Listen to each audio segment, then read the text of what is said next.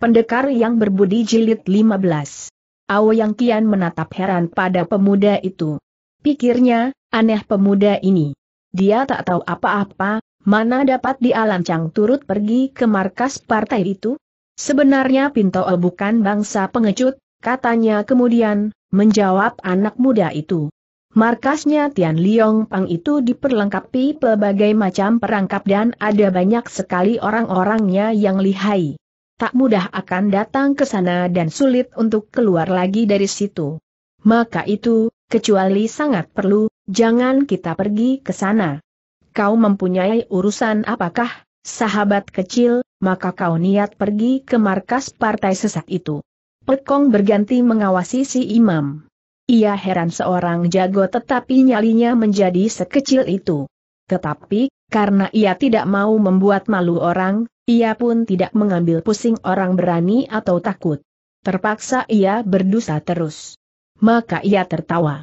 Toh Tiang, kalau toh aku yang muda ikut Toh Tiang pergi ke markas partai itu, bukannya niatku mencari permusuhan atau memusuhi mereka itu, katanya, sabar. Aku cuma ingin bertemu dengan Hong Liang penegak hukum partai yang berjuluk Huhoat Hian Kie Kie Su. Aku percaya bahwa di sana aku tentu tak akan dibikin susah oleh mereka itu. Ao yang kian merasa kurang enak hati. Nada suaranya si anak muda bagaikan hendak mengatakan ia berhati kecil. Sendirinya mukanya menjadi bersemu merah. Tapi, selekasnya dia ingat si anak muda bukan orang bulim, rimba persilatan, Hatinya menjadi lega pula tak lagi ia merasa bahwa orang mengejeknya maka ia lantas tertawa pula akhirnya ia berkata, sahabat kecil, jikalau kau mempunyai kegembiraan akan turut Pinto O jalan-jalan, baiklah, bersedia Pinto O mengajaknya. Dengan demikian kau menjadi memperoleh kesempatan akan melihat-lihat markas yang mirip dengan gedung naga atau gua harimau itu. Terima kasih, Toh Tiang, kata si anak muda. Sampai di situ, sembari minum dengan perlahan-lahan, mereka memasang ngomong terlebih jauh. Ao yang kian menjelaskan pada sahabatnya ini di mana letaknya kota Hanyang, Hanko dan Engbuciu atau Gunung Kusan atau lagi Go atau Telaga Rembulan. Sampai tiba saatnya lampu-lampu dinyalakan, baru kedua sahabat ini pulang ke penginapan. Baru Pekong memasuki kamarnya dan menyalakan api, di atas mejanya ia melihat sehelai surat yang berbunyi, orang yang Tuan mau cari sudah lolos dari ancaman bahaya, karena itu baiklah Tuan jangan mengantarkan diri masuk ke dalam jaring.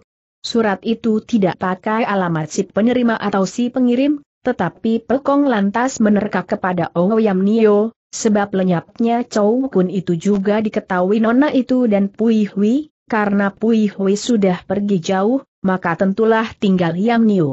Walaupun Pui Hui dibawa terbang burungnya dengan sangat cepat, tak mungkin dia telah tiba di Buciang ini, atau dia tiba tanpa mau menemuinya. Jadi ini suratnya Yang Niu. Bahkan sebagai orang Tian Liong Pang, Nona itu tentu ketahui baik sepak terjang partainya. Cuma disebabkan harus menjaga diri, Sin Ona itu jadi tak berani sembarang menemuinya.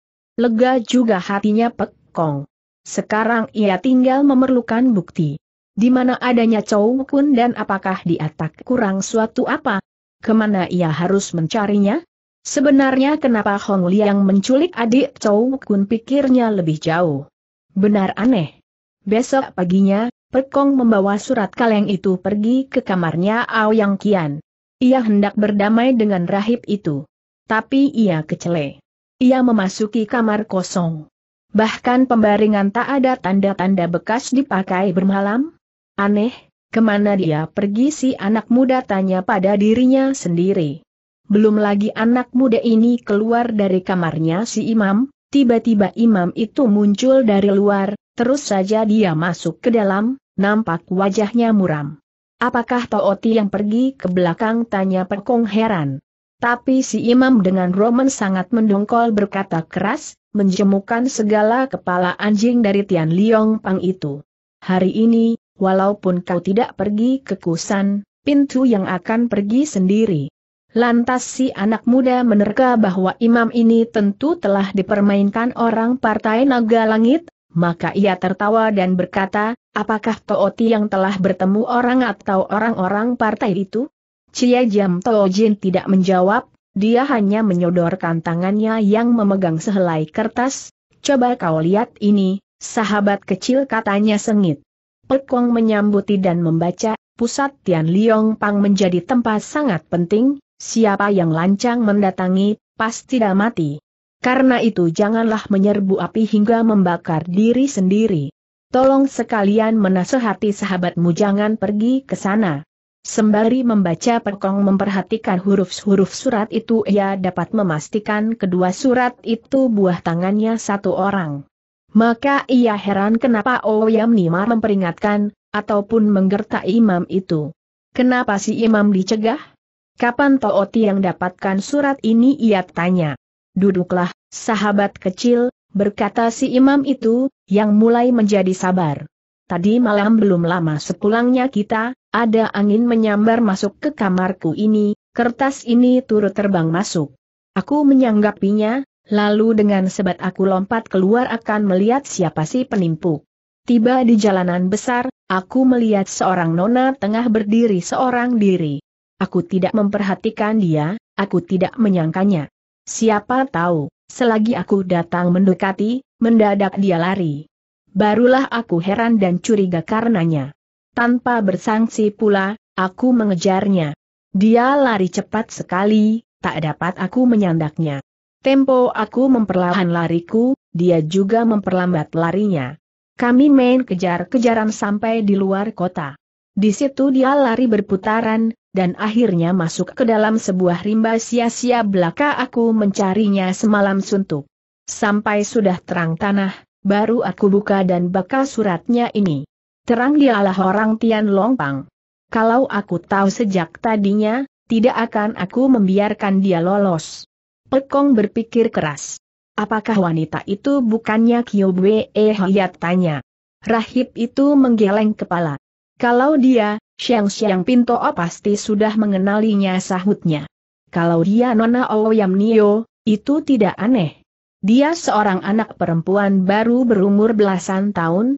Cia Jam Jin lantas melukiskan romen dan dandanannya Nona itu. Pekong menjadi haran. Kalau begitu, kelirulah terkaanku, pikirnya.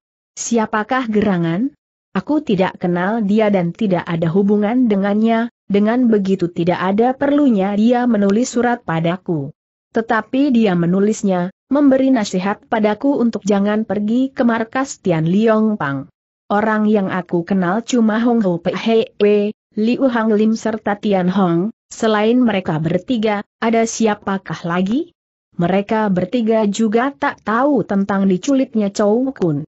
Tidakkah ini aneh menerka-nerka terlebih jauh Pekong cenderung untuk percaya tulis itu tulisannya Tian Hong? Nada tulisan itu juga nadanya orang Tiang Liong Pang. Maka bingunglah ia. Yang kian tertawa melihat si sahabat kecil diam saja sekian lama itu. Sahabat kecil, jadinya kau tak berani pergi ke markasnya Tian Liong Pang, bukan? Tanyanya. Tak apa kau tidak pergi, jadi tak usah kau nanti menghadapi sesuatu yang mengagetkanmu. Jikalau kau memerlukan sesuatu beritahukan saja padaku, nanti Pinto O yang tolong mengurusnya sekalian imam ini baik hati dan sudi mengulurkan tangan. Pekong tertawa menyambut kata-kata orang itu. Jangan memusingkan diri karena urusanku, Toh Tiang, katanya.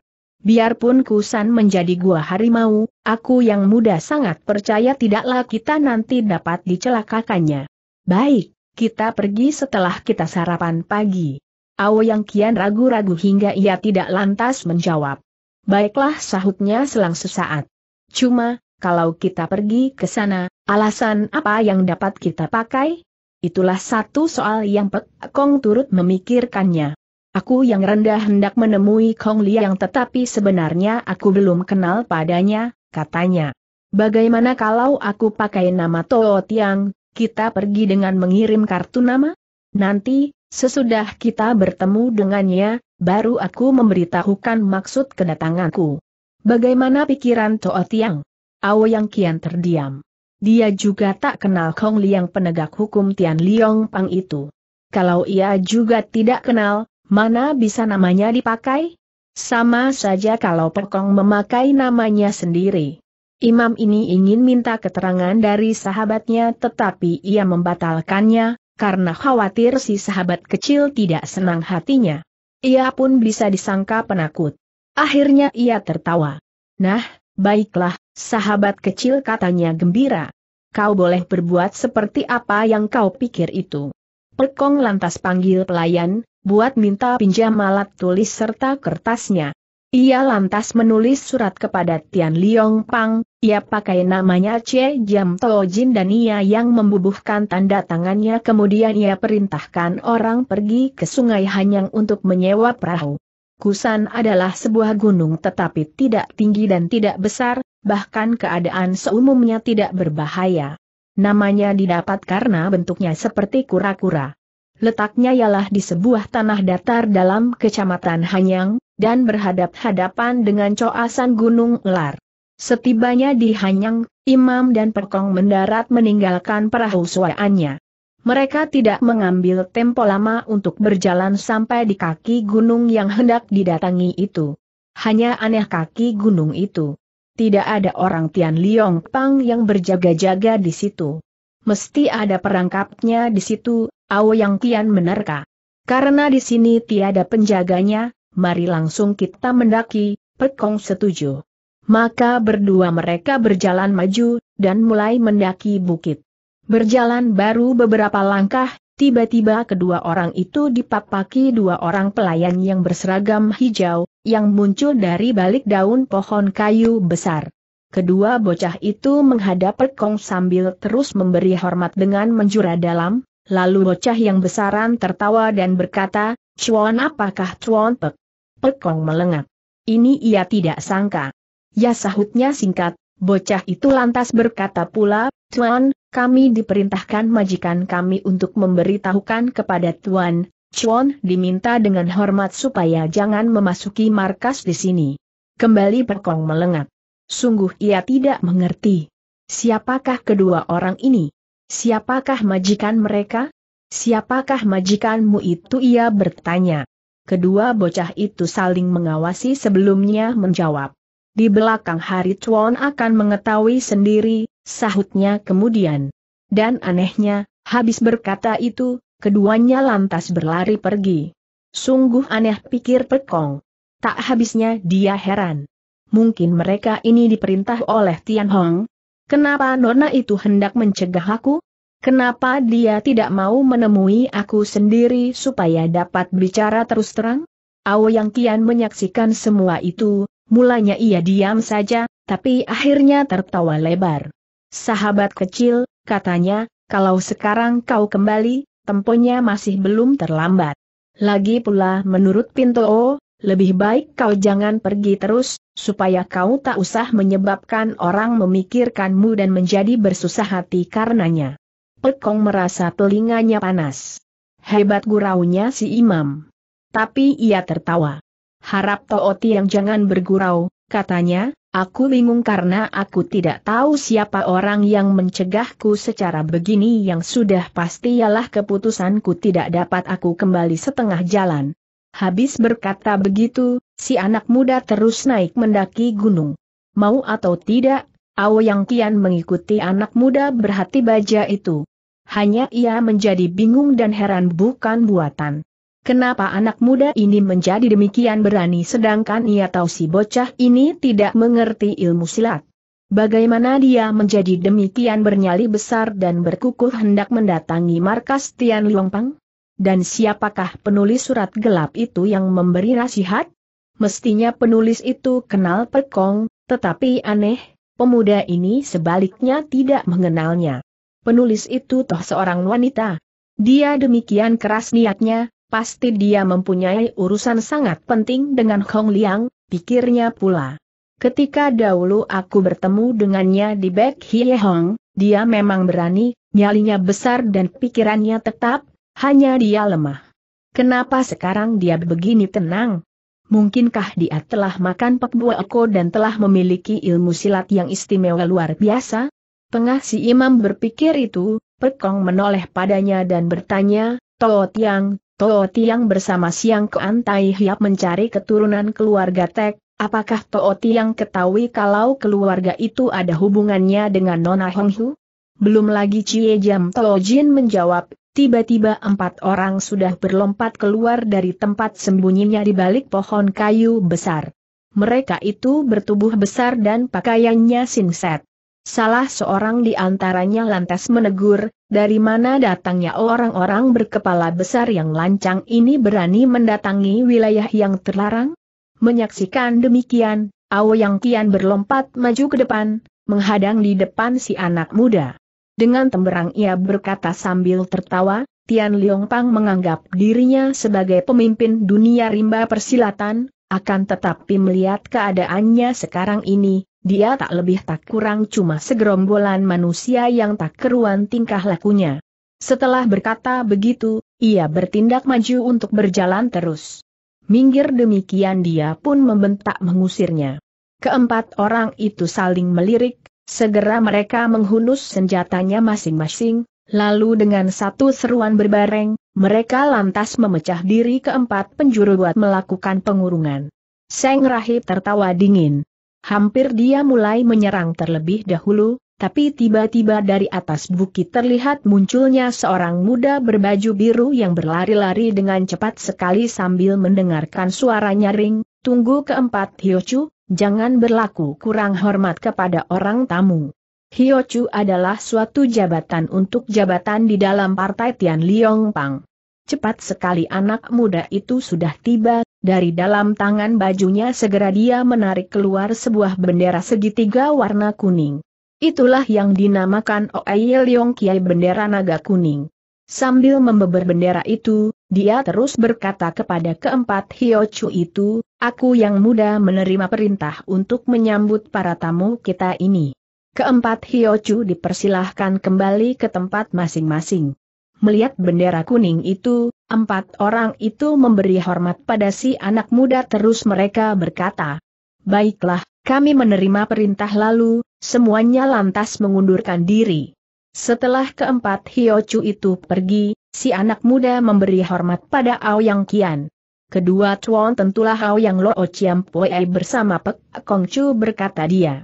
Aku yang muda menerima perintah dari Huhoat kami untuk dengan istimewa mengundang Lo Chiam Poe dan Kong Chu mendaki gunung kami. Lo Chiam Poe ialah panggilan terhormat terhadap seorang tua tingkat atas, dan Kong Chu ialah panggilan terhormat terhadap seorang muda yang dihargai. Keduanya Ao Yang Kian dan Pek Kong melengak sejenak. Heran mereka karena orang telah mengetahui kedatangan mereka sedangkan mereka mendatangi Tian Liong Pang tanpa ada orang yang mengetahuinya. Bahkan orang kenal baik Shi dan nama mereka. Ao Yang Kian juga heran mengenai dirinya Pek Kong. Kalau ia dikenal orang, itu tidak mengherankan tetapi Pek Kong, seorang muda belia, yang tak mengerti ilmu silat. Walaupun herannya bukan main, Cia Jam Toh Jin Toh cuma melengak sedetik, terus ia mengambil sikap wajar, wajahnya tersunggingkan senyuman. Sembari tertawa ia berkata, memang kami juga datang dengan jalan terang-terangan lagi-lagi ia tertawa riang. Si anak muda bersikap biasa juga, ia tertawa ia merangkapkan kedua tangannya dan berkata, silahkan turut aku, aku akan membuka jalan. Harap Lo Chiam Poe dan Kong Chu memperhatikan langkah kakiku supaya jangan sampai kalian berdua nanti tersesat jalan. Di dalam hati, Yang Kian heran. Ia melihat jalan itu rata saja, Tak ada yang aneh atau mencurigakan kecuali batu-batu bertumpuk kecil di sana-sini serta rumput yang teratur. Saking merasa aneh, ia menganggapnya lucu, maka ia pun tertawa dan berkata, hektometer. Segala batu dan rumput itu hendak menahan Nau yang kian? Si anak muda berbaju biru cuma tertawa, dan tidak membantah hanya mengatakan. Titik dua silahkan, Luo Pue dan Kong Chu dan terus dialari pesat di antara jalanan yang berserakan batu itu. Ao Yang Kian melihat orang berlari cepat, ia lantas berpaling kepada Pekong seraya mengajak, mari dan terus ia menyusul wakil tuan rumah itu. Tapi begitu lekas juga ia menjadi terkejut. Ia kehilangan anak muda pengantarnya itu. Sebaliknya dari pada jalanan berserakan batu dan rumput, ia sekarang berada di dalam sebuah rimba lebat dan penuh berasap hingga tak tampak lagi cahaya matahari. Heran, pikirnya. Dan ia berhenti dan menoleh ke belakang walaupun ia seorang yang berpengalaman, hal aneh ini toh membuatnya bingung. Ia lantas ingat Pekong, ia mengkhawatirkan kawannya itu. Ia sendiri tidak merasa takut sama sekali. Waktu ia melihat si anak muda, yang menjadi kawannya itu, Kembali ia menjadi heran bahkan heran sekali Perkong kelihatan berjalan dengan tenang-tenang saja, wajahnya nampak sedang berpikir keras. Tidak kusangka bahwa mereka sudah main gila di jalanan rata yang tadinya berserakan batu dan rumput ini ia berkata kepada si anak muda. Menurut penglihatanku, orang sudah mengatur barisan rahasia Pat Kuatin ditambah dengan uap buatan manusia. Mari kita mencoba melangkah di garis Kian Wei dan memutar kedudukan Soan Kiong. Coba kita lihat, kita bisa keluar dari dalam kurungan ini atau tidak. Pat Kuatin ialah semacam barisan kurungan rahasia segi delapan. Dan kedua garis itu adalah garis-garis istilahnya tin tersebut. Dan karena khawatir si anak muda nanti tersesat, si imam juga memegangi tangan kawannya untuk berjalan bersama. Ia mengajak berjalan dengan mengikuti garis-garis patwa segi delapan itu. Sekian lama mereka berjalan, mengikuti jalan yang belok kanan belok kiri, kemudian ternyata mereka berjalan di situ-situ juga, mereka cuma mengitari jalan tersebut. Hal itu diketahui setelah tempat semula itu diteliti. Maka juga si imam menjadi heran bercampur bingung. Baru sekarang dia berpikir keras. Heran jalan ini katanya nyaring. Biarlah aku mencoba menghajarnya. Di kiri mereka ada sebuah puncak kecil, puncak itu dihajar si imam yang menggunakan tenaganya yang telah dikerahkan. Ia percaya bahwa ia sanggup menggempurnya. Akan tetapi kenyataannya cuma batu dan debu yang berhamburan, puncaknya tetap berdiri tegak seperti semula. Baru sekarang Cie Jam Tojin berdiri keheranan. Tak habis-habisnya ia memikirkannya. Ia menerka lawan sudah menggunakan ilmu sesat. Diam-diam ia malu sendirinya sebab tadi sedikitnya ia sudah bicara besar. Sekian lama imam ini terdiam. Ketika ia menoleh kepada kawannya, si anak muda tetap bersikap tenang. Terhadap kawan ini, ia pun heran. Tak selayaknya orang tak mengerti ilmu silat bersikap setenang itu. Eh, Sahabat kecil akhirnya ia menegur, bagaimana dengan kau? Apakah kau memiliki ilmu mujizat? Belum lagi si pemuda menjawab pertanyaan si rahib, lantas mereka mendengar suara hiruk pikuk yang luar biasa, seakan-akan suara hantu yang memekakkan telinga. Suara itu memenuhi seluruh lembah. Mendengar suara itu, tiba-tiba Pekong tertawa dan berkata, Oh, kiranya ini Latin gabungan dari kedua tin, Go Kue Kupun dan Cuce Elon Lok. Baik, nanti aku yang rendah mencoba membuyarkan dahulu uapnya, sesudah itu, baru suara-suara itu dihentikan asal tinggal tumpukan batu dan rumput, tak sulit buat kita keluar dari tempat ini. Go Kue Kupun ialah tin atau barisan rahasia lima hantu mengisi pekuburan, dan Cit C. Elolok ialah barisan rahasia tujuh bintang jatuh berserakan. Yang kian heran. Dia adalah jago dari Liao Wong, wilayah timur, pengalamannya menjelajah sudah puluhan tahun, tetapi selama itu belum pernah ia mendengar nama atau perihal kedua tin yang disebutkan pemuda itu. Karenanya, hendak ia minta keterangan dari si pemuda, tapi orang sudah mendahuluinya menggerakkan tangannya. Mulanya Pekong merapatkan kedua tangannya, digosokkan satu dengan lain, terus kakinya melangkah. Mendadak ia berhenti berjalan, berdiri tegak. Lalu dengan sekonyong-konyong ia menyerang ke atas ke udara, sampai empat kali beruntun. Menyusul hajaran itu, mereka mendengar suara guntur samar-samar terus datang berkesyurnya angin, sesaat kemudian buyarlah uap di sekitar tanah terbuka itu, hingga seng surya yang merah pun tampak muncul kembali seperti tadi. Habis suara guntur samar-samar itu serta cuaca cerah, suara berisik seng memedi makin menjadi-jadi, tapi sekarang suaranya kacau. Pekong mengumpulkan tenaga dalamnya, terus ia bersiul, tak keras juga tak lama, iramanya merdu didengar. Sekejap itu hilang sudah suara hantu itu. Yang masih terdengar tinggal sisa syulan. Awo yang kian tercengang mengawasi si anak muda. Ini adalah di luar dugaannya. Selama ini ia menyangka si anak muda seorang pelajar yang tetap lemah. Oh, sahabat kecil akhirnya dia berseru. Meta Pinto melek tapi buta. Kapankah kau telah mempelajari ilmu gaib ini? Pekong tertawa. Maaf, Toh Tiang, sahutnya. Panjang ceritanya, baik lain kali saja aku menuturkannya. Yang perlu sekarang ialah supaya kita segera keluar dari tin ini, supaya kita bisa lekas sampai di atas gunung menemui Kong Liang. Kita harus jaga supaya kita tak sampai ditertawakan dia. Mendadak anak muda ini berhenti bicara. Ia seperti merasa sudah keliru omong. Ia tersenyum tetapi dengan senyuman likat. Terus saja ia berjalan maju dengan cepat mendahului si imam. Parasnya C jam juga merah. Dia jengah sendirinya. Dengan mulut runyam ia menyusul si anak muda. Dengan cerahnya cuaca, segala sesuatunya tampak nyata. Di depan terlihat tujuh buah puncak cilik, atau tanah muncul, yang letaknya seperti petau, bintang utara. Di situ, Awo yang kian melihat jelas adanya jalanan keluar. Selekasnya mereka berada di luar tin, kiranya tujuh puncak itu hanya tujuh tumpukan tanah. Saking mendongkol, rahib ini menghajar kalang kabutan tumpukan-tumpukan tanah itu. Maju lagi satu lintasan, Pekong berdua menghadapi sebuah tanah terbuka yang luas, rumputnya hijau dan tebal. Selewatnya halaman itu, di depan mereka berdiri sebuah tembok tinggi. Di muka pintu terdapat sebuah halaman. Pintu yang catnya merah itu tertutupi rapat, suasananya sunyi, hingga bangunan itu mirip rumah kosong. Di kiri dan kanan pintu ada tumbuh masing-masing tiga buah pohon cemara yang besar-besar.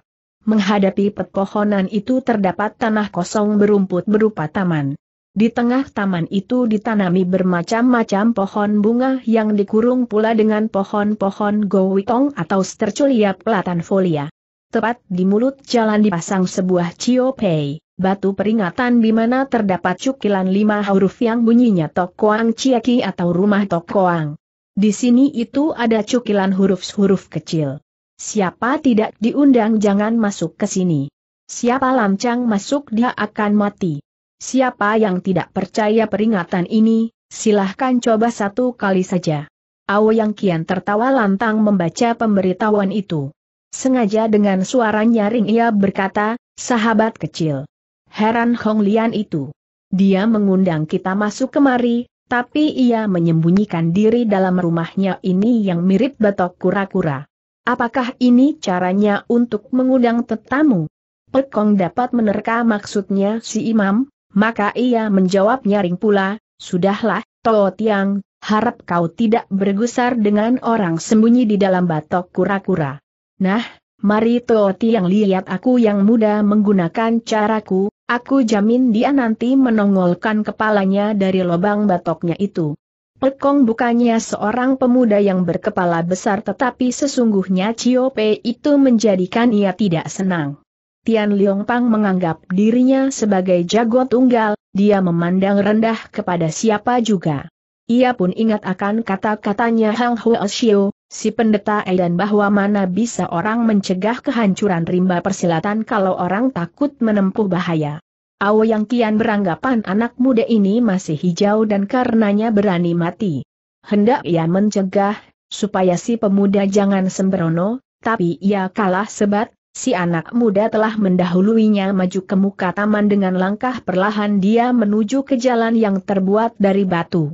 Di dalam taman itu kecuali pelbagai pohon bunga cuma terdapat lima buah bangku batu, yang buatannya sangat sederhana, biasa saja. Selekasnya Pekong masuk ke dalam taman, hidungnya lantas mencium bau harum istimewa, terus ia rasakan kepalanya pusing dan matanya berkunang-kunang. Ia terkejut, ia mau mundur pula tetapi sudah terlambat, segera ia jatuh duduk disebabkan kedua kakinya lemas hingga tak dapat digerakkan lagi. Yang kian kaget bukan main. Hendak ia maju menolongnya tetapi ia tak berani, khawatir ia pun nanti roboh seperti si anak muda. Maka ia lantas menteriaki, sahabat kecil, lekas makan Hui Tian Shok Bieng Tan. Sia-sia teriakan atau peringatan itu. Pekong tetap duduk bersila, matanya meram mulutnya bungkam. Ia tak mendengar apa-apa. Tiba-tiba terdengar suara nyaring dari terbukanya pintu gerbang. Di ambang pintu itu segera muncul seorang pria tua yang rambut dan kumis janggutnya sudah putih seluruhnya. Dia menyandarkan tubuhnya di pinggiran pintu sambil tertawa lebar, terus dia berkata keras, sudah lama aku mendengar tentang si imam berewokan merah, yang ilmu sebuah jarinya, It Chie Tan Kong, lihai menjagoi di Liao Tong, bahwa nyalinya bukannya kecil, tetapi kenapa dia masih kalah dengan seorang bocah cilik, bisanya membuka mulut berkoar seperti nenek-nenek di jalan besar? Awo yang kian mengawasi orang itu, yang ia tidak kenal. Ia menyangkanya Tong Tian Tok Liong ketua Partai Naga Langit. Maka ia tertawa dingin dan berkata tawar, kiranya pemimpin utama dari satu partai yang besar toh masih mengandalkan segala ilmu gaib dan racun berbisa untuk melindungi dirinya. Apakah dengan begitu kau tak malu nanti ditertawai umum sampai gigi copot rontok? Si orang tua tertawa dan berkata menghina, hektometer, orang semacam kau memikir dapat menemui ketua kami. Baiklah kau ketahui, aku seorang tua cuma seorang penjaga pintu. Kau tahu kenapa sekarang aku muncul di sini? Itu karena aku melihat kau, sekalipun huruf-huruf yang besar-besar kau tidak kenal. Kenapa kau lancang memasuki tempat kediaman pribadi dari ketua kami? Jikalau kau tidak menggoyang-goyang ekormu dan ngeloyor pergi dari sini, aku khawatir kau nanti tak dapat mati dengan baik-baik di dalam kamarmu. Bukan main gusarnya Oh yang kian dihina yang seorang menyebut dirinya penjaga pintu itu. Hai, bangsat tua, kau berani menghina aku bentaknya. Lihat, sebentar akan tahu rasa kau. Si penjaga pintu tertawa terbahak-bahak. Tak usahlah kau sebut nanti tandangnya. Kalau kau benar tidak takut mampus, tiada halangannya sekarang kau maju kemari. Percayalah, aku si orang tua akan membuatmu puas. Kau nanti berjalan di jalan hidup yang lebih pendek. Habislah kesabaran si imam, hendak ia berlompat maju akan melompati taman bunga itu tapi mendadak Pekong mencelat bangun sambil berseru, jangan, Toh Tiang. Tahan. Menyusul itu, anak muda itu sudah lantas berlompat sampai di depannya orang tua. Itu. Lekas perintahkan Hong Liang keluar menemui aku perintahnya membentak. Orang tua itu terkejut dan heran. Ia tidak menyangka si anak muda tak roboh karena bau harum beracun itu. Tapi hanya sedetik, dia lantas tertawa gelak-gelak. Hektometer dia menghina. Baru dengan kepandaianmu sebegini saja kau berani berjumawa? Sekalipun Tong Tian Tok Liong sendiri sangat menghormat dan mengindahkan aku si orang tua. Macam apakah kau? Kau makhluk apa makanya kau berani bicara main membentak? Yang kian sementara itu berlega hati melihat kawan kecilnya tidak kurang suatu apa. Ia lantas memandang tajam pada seorang tua yang jumawa itu, hingga sekarang ia dapat melihat tegas. Si orang tua itu berjanggut panjang sampai di lututnya, rambutnya yang beruban menjuntai sampai di bahunya, kedua matanya bersinar seperti kilat, suaranya nyaring bagaikan genta. Lalu, mengingat kejumawaannya, Tiba-tiba ia ingat siapa gerangan si tua itu. Sahabat kecil ia lantas memperingatkan Pek Kong. Kau tahu siapakah bangsat tua di hadapanmu ini? Dia ialah salah satu di antara empat toa set C, E sebawahannya Leng Geni Esu. Ya sebawahannya yang ketiga. Dialah Hosyu Chong Chiong Kukun Sinaga Hijau Ubanan. Kita bukannya mau mencari dia. Jangan kita layani dia. Toa Set CE itu berarti si bintang cawa celaka. Memang benar orang tua ubanan berjanggut panjang luar biasa itu Hosyu Chong Leong Kukun. Ketika dahulu terjadi pertempuran besar-besaran di Bong Hon Hok, lembah roh gentayangan, Dia pernah perlihatkan kepandaiannya dia tidak gusar bahwa Aoyang Kian membuka rahasianya itu, menyebutkan gelar nama dan kedudukannya sebagai bawahannya Leng In Lesu. Dia justru tertawa lebar. Ha, hidung kerbau katanya, kau dapat ingat siapa aku si orang tua, sungguh matamu masih belum buta picek. Pekong terperanjat juga hatinya mengetahui si orang tua itu adalah kukun akan tetapi karena orang itu sangat jumawa, ia menjadi tidak senang hatinya. Ia tertawa dingin dan berkata, Eh, orang tua Shiku, jangan kau agulkan nama kosongmu dahulu hari itu, nama yang tak berarti. Apakah kau sangka dengan nama kosongmu itu dapat kau membuat orang kaget? Tidak. Aku, cuan kecilmu, telah datang kemari, itu artinya aku tak menghargai sepeser pun padamu. Mendengar suara si anak muda, barulah wajah si orang tua merah padam. Katanya bengis. Jikalau aku si orang tua tidak memberi rasa pahit padamu, kau pasti tidak tahu berapa tingginya langit dan berapa tebalnya bumi. Sembari berkata begitu, jago tua itu melangkah maju. Berbareng dengan itu di ambang pintu gerbang yang besar itu terlihat sesosok tubuh berkelebat muncul. Dialah si anak muda berbaju biru yang membawa bendera kuning tadi. Dia lantas menjura dalam kepada Kukun sambil berkata, aku yang rendah menerima perintah mengundang para tamu, oleh karena itu Lo Ociam Poe diminta suka lekas kembali ke markas, Pangcu tengah menantikan di Coasan. Kalau Kusan berarti gunung kura-kura maka Coasan adalah gunung ular. Mendengar kata-kata si anak berbaju biru, Kukun lantas mendelik terhadap Pek Kong, setelah itu dia memandang si pesuruh dan berkata kepadanya, kau beritahukan. Huang Liang, bocah ini aku serahkan padanya. Sebentar aku si tua datang meminta orang ini dari dia. Begitu dia menutup mulutnya, Begitu si tua berlompat pergi terus lari turun gunung. Diam-diam Pekong mengagumi keringanan tubuh jago tua itu, hingga ia tidak tahu ia sanggup atau tidak mengadu kepandaian dengan dia.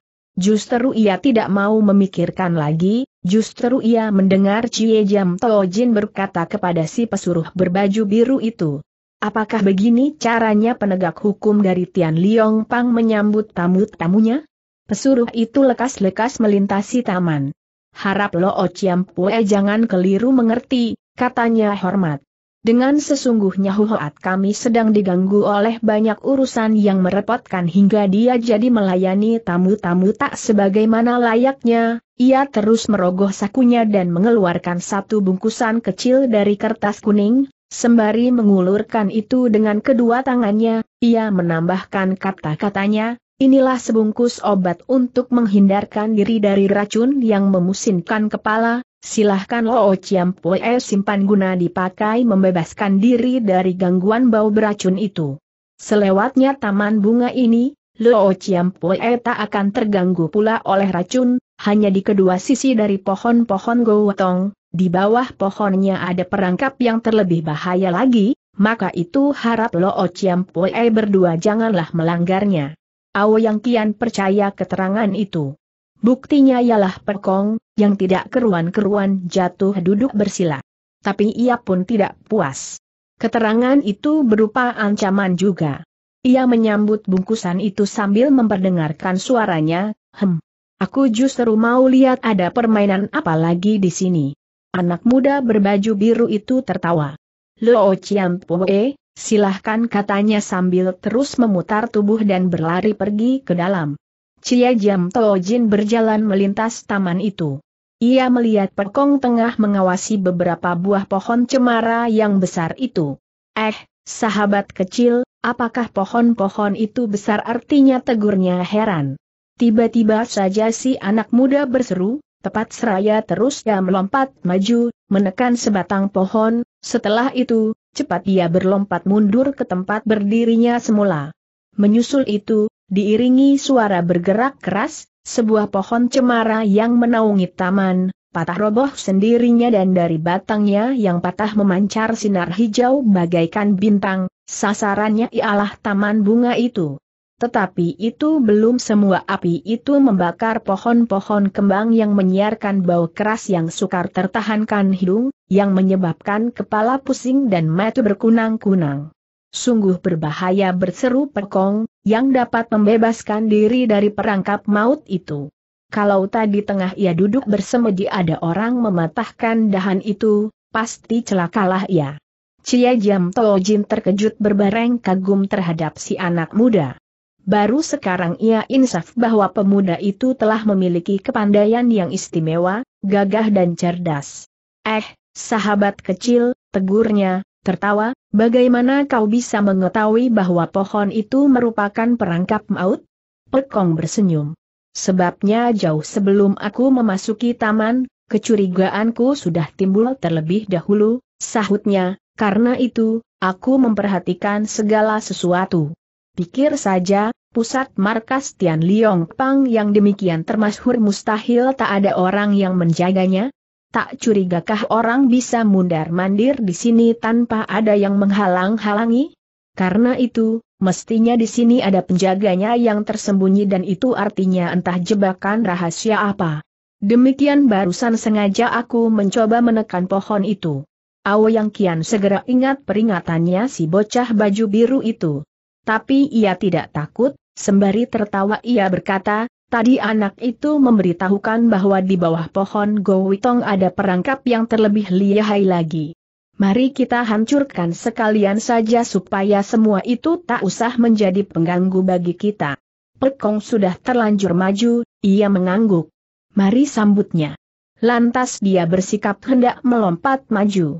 Tetapi, dengan tiba-tiba saja dari arah belakang mereka terdengar suara tawa yang parau, kedua cuan-cuan yang terhormat, jangan bergusar dulu. Mungkinkah kalian tak dapat memaafkan aku si orang tua yang telah datang terlambat? Pekong berpaling dengan cepat, hingga ia masih sempat melihat sisa senyuman orang yang tertawa dan berkata itu, yang menyebut dirinya seorang tua. Ia lantas menerka orang itu adalah Kong Hian Hok Leong atau Hian Kie Kie Su, penasehatnya Kong Hian Hok Leong tetapi tadi si pemuda berbaju biru mengatakan bahwa pangcu mereka berada di Bukit Coasan, maka mestinya orang tua ini ialah Hian Kie Kie Su Hong Liang. Tapi ya, tapi... Kiu Bwe Eho menyatakan bahwa Hong Liang adalah seorang berusia lebih kurang 30 tahun yang memelihara kumis serta mukanya putih dan orang ini orang tua, seorang kakek-kakek. Tapi Aoyang Kian sudah tertawa dingin dan berkata, Tuan, Chuan tentulah Hian Kie Kiesu yang amat kenamaan. Tetapi, Chuan hendak aku jelaskan bahwa kedatangan kami bukannya dengan maksud jahat, tak kusangka kami disambut dengan ucapan penyambutan seorang tamu agung. Orang tua itu tertawa pula dengan suaranya yang tak sedap didengar. Aku yang tua benar Hong Liang katanya barusan telah terjadi kesalahan, itulah karena kealpaan yang tak disengaja. Tapi di sini bukannya tempat yang tepat untuk kita berbicara, silahkan cuan-cuan masuk ke dalam, kita akan memasang ngomong di sana. Orang tua itu lalu memberi hormat sambil menjura. Melihat orang merubah sikapnya, Ao yang kian tidak mau berlaku keterlaluan. Ia mengeluarkan kartu nama dan menyampaikannya dengan kedua tangannya. Ia berlaku hormat sepantasnya. Hong Liang menyambut tanpa membaca lagi, kartu itu dimasukkannya ke dalam tangan bajunya. Kembali ia tertawa dan berkata, Chuan Chuan telah datang dari tempat yang jauh, aku si orang tua sudah ketahui itu. Silahkan. Ao Yang Kian dan Pek Kong menerima baik undangan itu. Keduanya berjalan dengan berhati-hati. Dari luar, terus sampai di dalam tak tampak sesuatu pun yang mencurigakan. Hal itu mendatangkan rasa herannya Cie Jam Tojin dan pemuda kawannya itu. Di sepanjang jalan ke dalam itu, ketua tia atau ruang besar, cuma terlihat sebuah empang teratai serta beberapa buah pohon pisang, tiada lain, tiada juga gunung-gunungan seperti biasa terdapat di halaman rumah besar yang kebanyakan. Hanya di tengah-tengah ruang tergantung sehelai gambar lukisan Pat Sian Kue Ehe delapan dewa menyeberangi lautan, beserta sepasang liannya di kiri dan kanan dengan masing-masing bunyi tulisannya, di tanah barat ada jalanan, Di situ orang sukar melaluinya dan di laut selatan tiada jembatannya, di situ aku berjalan seorang diri saja. Di atas meja ada sebuah paso dengan lukisan bunga anggrek. Di kedua dinding tergantung masing-masing gambar lukisan kuno. Di kiri dan kanan terdapat empat buah kursi, yang disebut kursi Tai Sui berikut tiga meja kecil peranti teh. Itulah perlengkapan rumah yang umum saja. Benarkah demikian sederhana ruang besar dari markasnya Tian Liong Pang yang termasyhur itu? Awo yang kian heran melihat semua apa yang dilihatnya itu. Ia tidak melihat apa-apa yang mencurigakan meskipun hatinya tetap menerka ruang itu pasti penuh dengan pelbagai macam perangkap. Pekong sebaliknya tidak terlalu bercuriga seperti kawannya itu. Ia cuma memikirkan urusan maksud kedatangannya ini, mencari Chow Kun si adik yang lenyap itu. Dan berpegang kepada keterangannya Ouyam Nio dan Chit Seng Bong, ia percaya ia sedang berhadapan dengan Hong Liang, orang yang sedang dicarinya, hanya Hong Liang ini pasti Hong Liang di dalam penyamaran, karena tampaknya dia sudah demikian lanjut usianya. Hong Liang mempersilahkan tamu-tamunya duduk, terus dia memanggil, anak Po, lekas suguhkan teh. Anak Po ialah Po Jie, si pemuda dengan baju biru tadi. Dia lantas muncul dengan sebuah nampan, di atasnya terdapat tiga buah cangkir teh yang harum baunya. Ia menyuguhkan kepada ketiga orang itu, gerak-geriknya hormat. Yang kian memegangi cawan, tak berani ia lantas meminum isinya, tengah ia ragu-ragu, tiba-tiba terdengar tawa nyaring dari tuan rumah, yang terus berkata nyaring, jago dari Liao Tong sungguh teliti.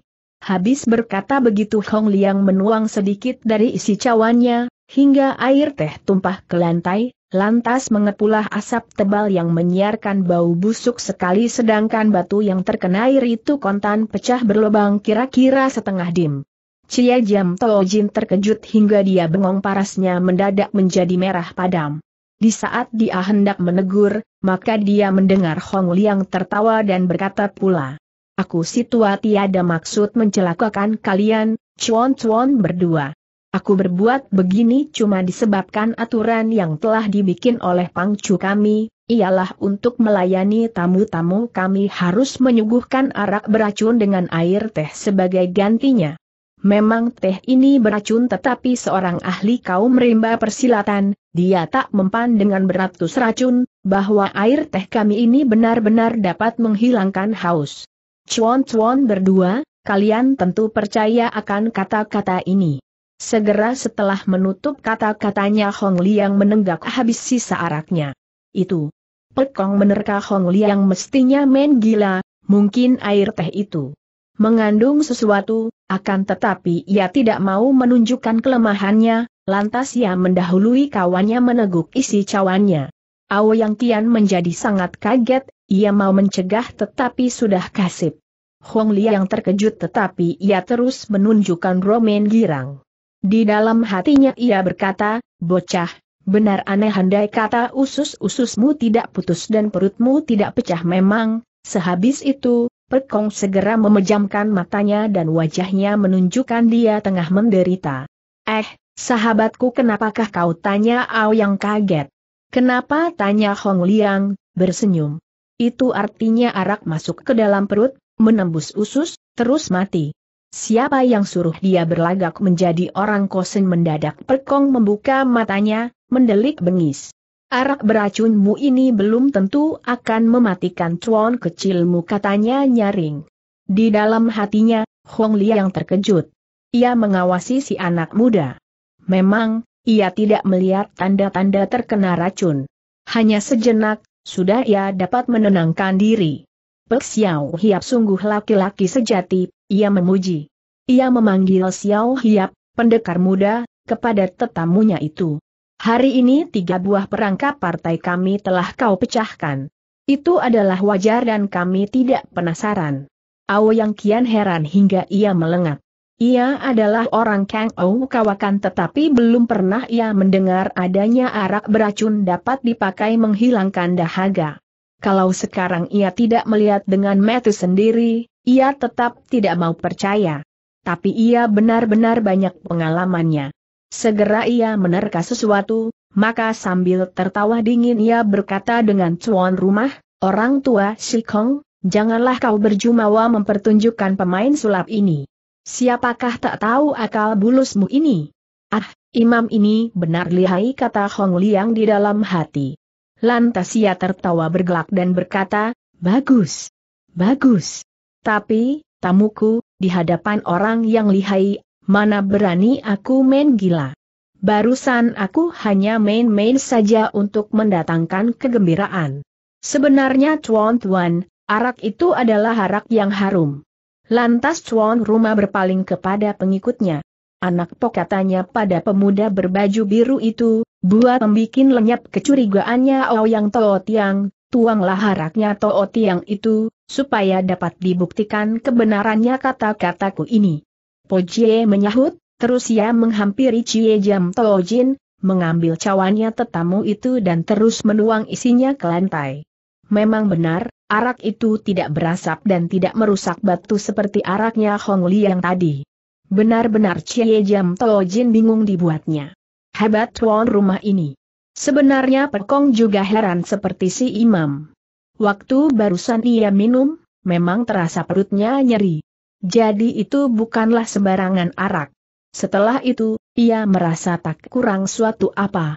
Jadi, aneh tuan rumah ini. Hong Liang mengawasi bergantian kepada kedua tamunya itu. Ia dapat menerka bahwa orang heran ia lantas tertawa, cuan-cuan berdua, ia terus menanya, ada urusan apakah maka cuan-cuan datang kemari, yang kian sangsi, tetapi cuma sejenak, ia lantas menjawab. Pinto O datang karena kekaguman kami, demikian sahutnya. Pinto O tidak punya lantas ia menunjuk kepada Perkong, dia mempunyai suatu urusan untuk mana dia sengaja datang mengunjungimu, Tuan, Hong Liang lagi-lagi tertawa bergelak. Aku si orang tua adalah orang yang numpang berlindung pada lain orang, katanya, karena itu mana aku mempunyai kehormatan seperti apa yang Tooti yang katakan itu. Namun hari ini aku merasa sangat beruntung telah bertemu dengan Liao Tong Pacu hingga mukaku seorang tua menjadi terang. Liao Tong Pacu ialah jago dari Liao Tong. Orang tua itu pun lantas mengawasi pelekong. Nampaknya di akhiran. Xiao Hiap, katanya kemudian, aku si tua dengan kau belum pernah bertemu, entah ada urusan apakah dari Xiao Hiap terhadapku, Aku mohon sudilah Xiao Hiap memberikan keterangan padaku. Pertanyaan itu membuat Pekong melengak. Ia pun balik mengawasi. Huhoat, ia berkata, lebih dahulu ingin aku bertanya, di dalam partai, Huhoat ini sebenarnya ada berapa orang Huhoat? Seperti telah diketahui Huhoat ialah penegak hukum partai naga langit itu. Hong Liang tertawa. Dia menjawab cepat, tidak peduli partai apa pun, jabatan Huhoat hanya satu dan dipegang oleh satu orang, tidak ada keduanya ataupun wakilnya. Apakah Xiao Hiap sedang bergurau dengan aku seorang tua? Pekong mesti berpikir dahulu sebelum dia berkata lagi. Jikalau begitu, Tuan, katanya, mungkinkah puterinya Xiao Seng Hou telah diculik oleh salah seorang anggota partai Tuan? Diam-diam hatinya Hong Liang menggetar, ia sampai berdiam sekian lama.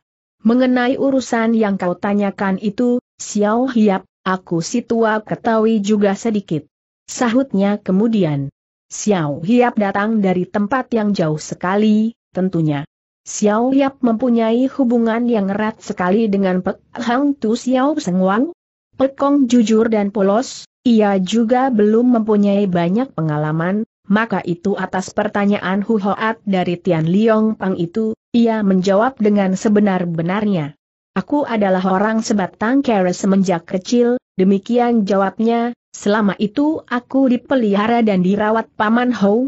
Ketika di musim pertama tahun ini Paman Hou menutup mata, dia meninggalkan cuma seorang anak perempuan. Apa mau beberapa hari yang lalu, waktu aku pulang ke rumahnya Paman Hou, ternyata puterinya itu sudah diculik orang. Menurut apa yang aku dengar, katanya dia telah diculik oleh anggota partai Tuan. Jawaban itu membuat Hong Liang girang berbareng terperanjat. Girang sebab pemuda ini ialah pemuda yang ia sedang cari.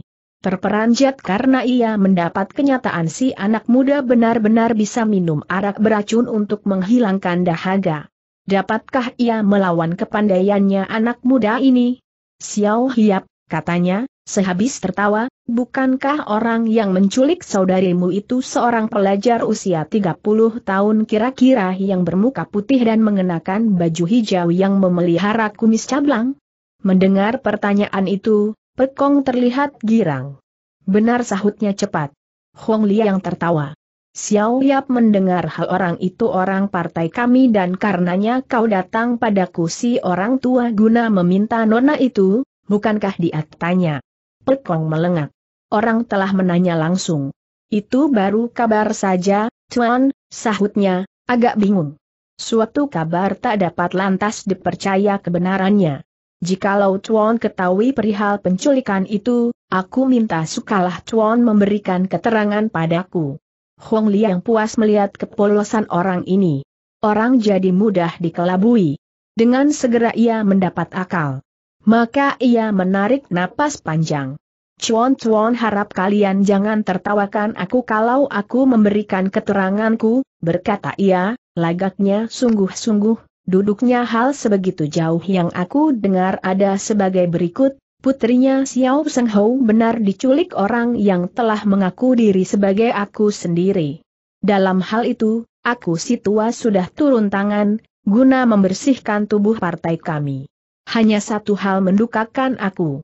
Kami menerima kabar lebih jauh, di tengah jalan penculik itu sudah bertemu dengan Pek Gan Kue Leng Xie Chai dan keduanya telah bentrok saling berebutan si Nona dengan kesudahan orang kami itu kalah hingga si Nona kena dirampas Xie Chai. Pekong kaget sekali. Celaka kalau Chow Kun terjatuh ke dalam tangannya Leng Xie Chai.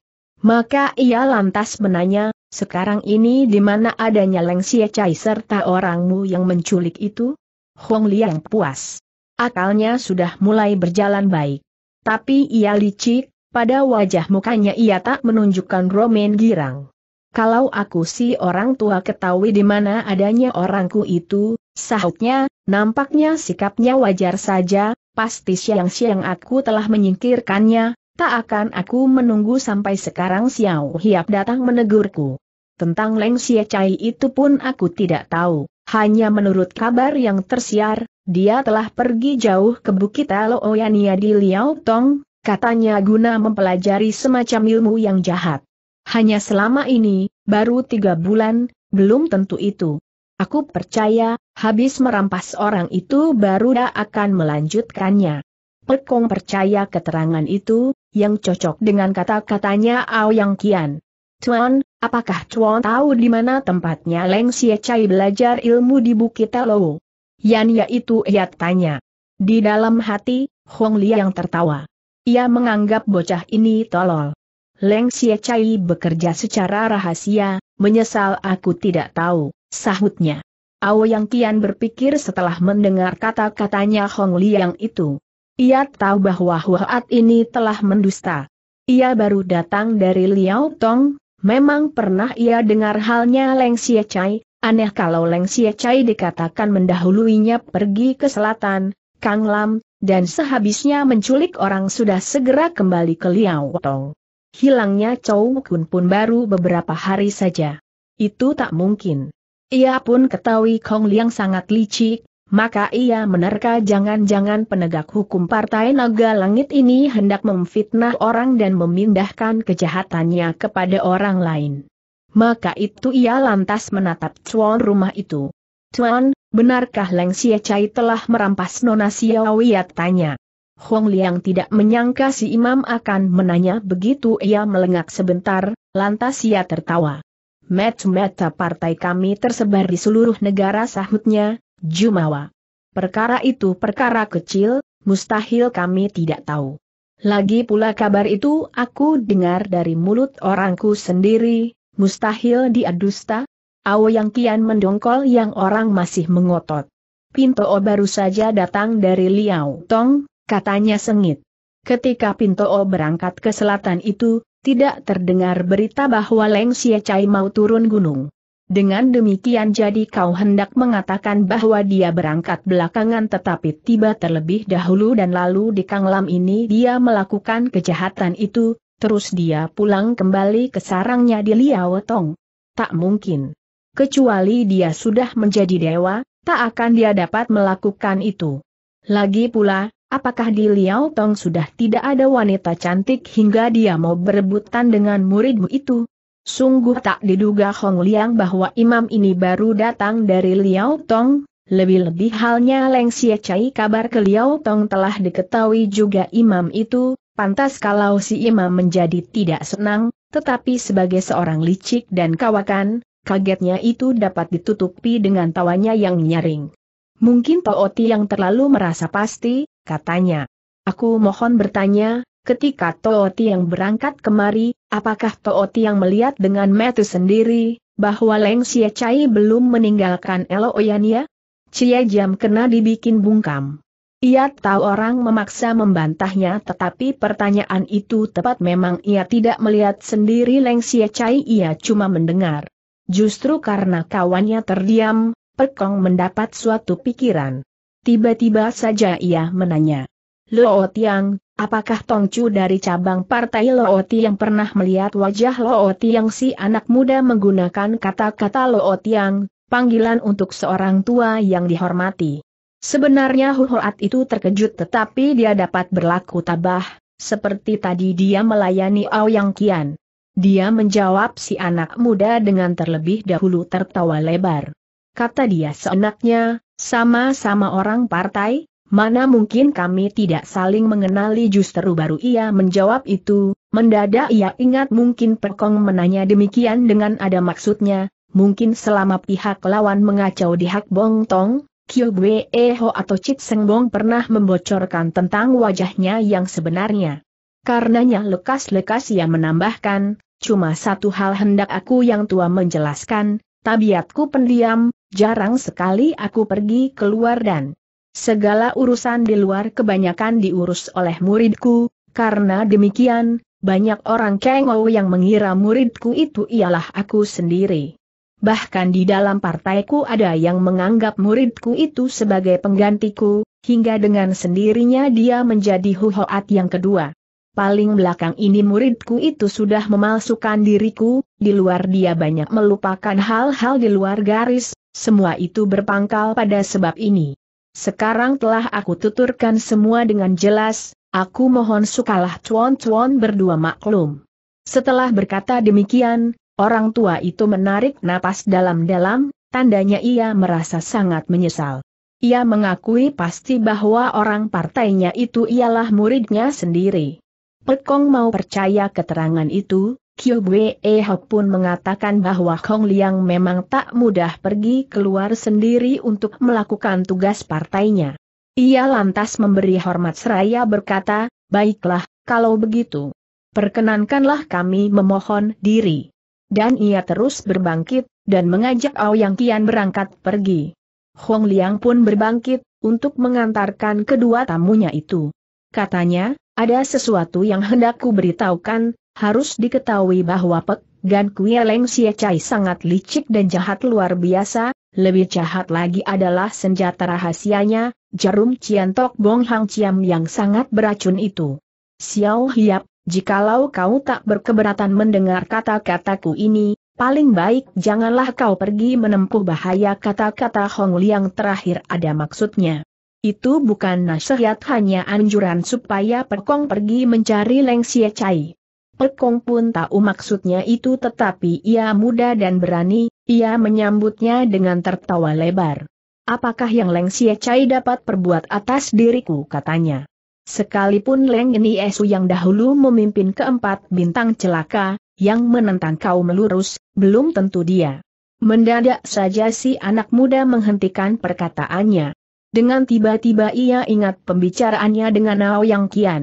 Maka ia merubah haluan dan berkata pada tuan rumah itu, aku juga mau minta Loot yang menyampaikan kata-kataku kepada Tong Tian Tok Liong, jikalau dia tetap masih tersesat dan memaksa hendak menggoncangkan gelombang dan badai kaum persilatan, Akhirnya tubuhnya bakal terpisah dari kepalanya, dia tak akan mati dengan baik-baik.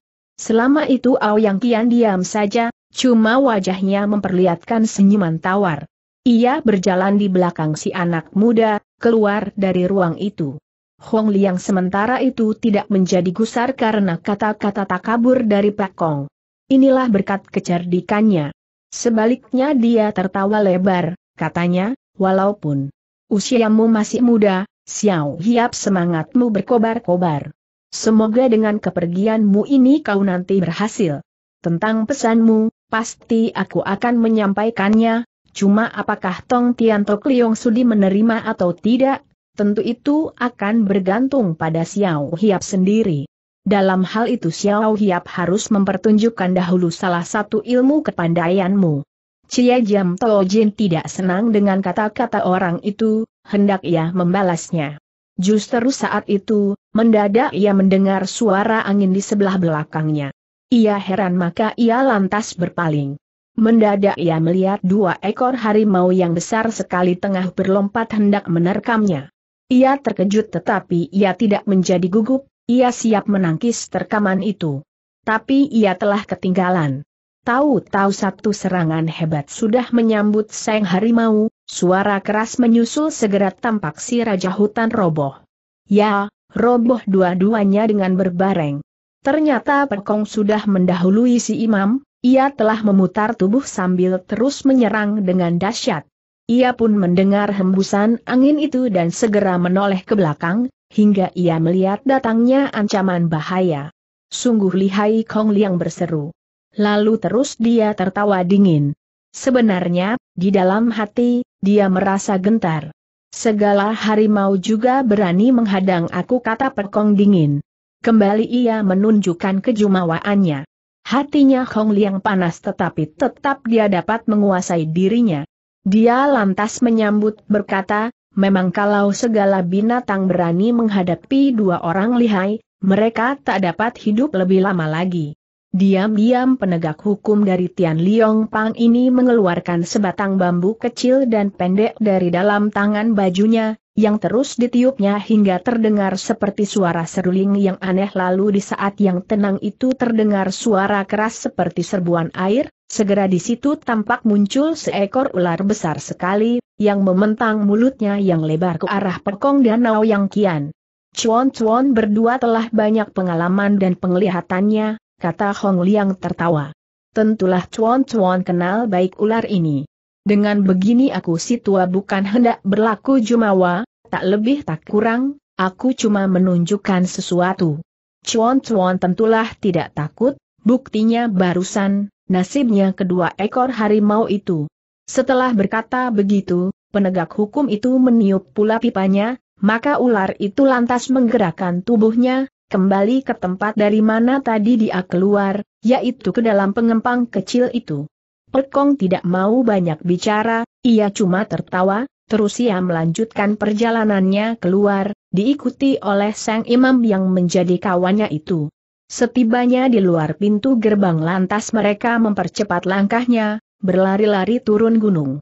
Tak ada gunanya untuk berdiam lama-lama di tempat kaum sesat itu.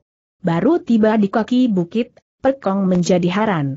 Ia melihat dua orang wanita tengah bertempur seru, yang satu berbaju merah, yang lain berbaju putih. Dan empat orang lagi yang bertubuh besar berdiri menonton pertempuran itu. Selagi mendaki, si anak muda dapat mengenali dua orang yang sedang mengadu jiwa itu, ialah Tian Hang dan Pui Hui, dan keempat orang lainnya adalah empat Hiochu yang tadi menghadang padanya. Maka ia lantas lari seperti terbang kepada nona-nona itu sambil berseru-seru. Jangan berkelahi. Jangan berkelahi. Sama-sama kawan sendiri. Kedua nona bertempur terus, mereka mendengar suara cegahan itu tetapi mereka tidak menghiraukannya.